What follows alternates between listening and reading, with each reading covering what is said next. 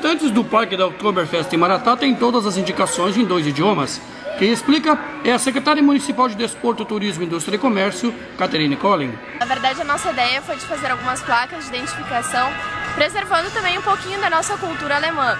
Afinal, a Oktoberfest é uma festa alemã, né?